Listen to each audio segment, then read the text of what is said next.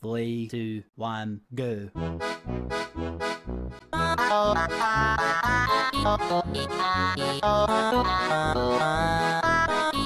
do I even bother?